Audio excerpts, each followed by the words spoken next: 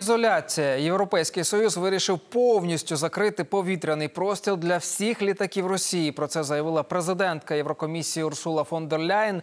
Обмеження буде стосуватися і приватних літаків російських олігархів. І це на додачу до відімкнення частини банків Росії від СВІФТ, надання Євросоюзом Україні летальної зброї на 450 мільйонів євро та заборони мовлення пропагандистських Russia Today та Спутник. А ще у ЄС пообіцяли, що розглянуть додатковий список російських олігархів, проти яких застосують персональні санкції.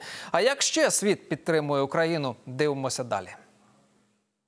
Це одне з найбільших міст Австралії Мельбурн. І сьогодні там майорять наші українські прапори. Тисячі людей вийшли, аби висловитися проти війни, яку розпочав Путін та його посіпаки. Для людей, які вийшли на цей протест, ця війна стосується кожного на планеті. Битва, яку веде Україна, це наша спільна справа, адже ми віримо в цю країну у їхню свободу.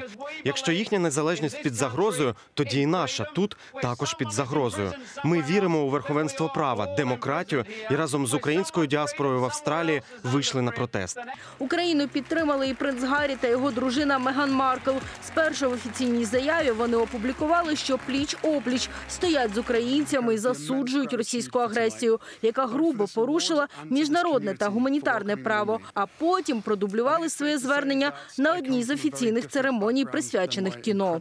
Я хочу подякувати народу України. Вони негайно потребують глобальної підтримки усієї світової спільноти. На вулиці Сеула вийшли з протестом сотні українців, які нині проживають у південній Кореї. Прийшли до посольства Росії і вимагали негайно прибрати свої війська з України.